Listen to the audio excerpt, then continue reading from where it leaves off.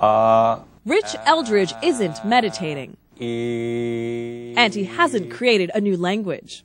E, uh, uh. So what I'm doing is making vowel sounds to direct the mouse pointer on the screen. Eldridge suffered a spinal cord injury in a car accident 10 years ago.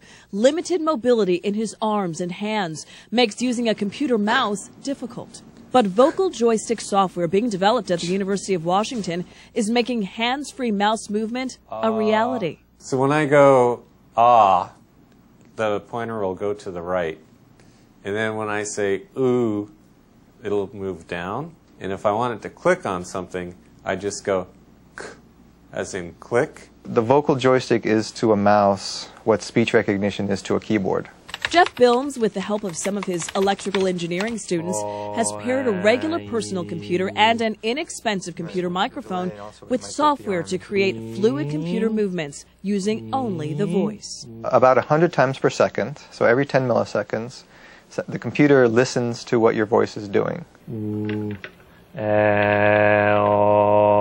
are also experimenting using the software to control a small robotic arm.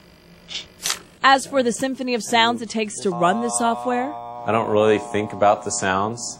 I'm more focused on what I'm looking at and where I want to go. thanks to this human computer interaction, Eldridge can now rely on his voice to get him where his hands can't take him anymore. This is Jacqueline London reporting.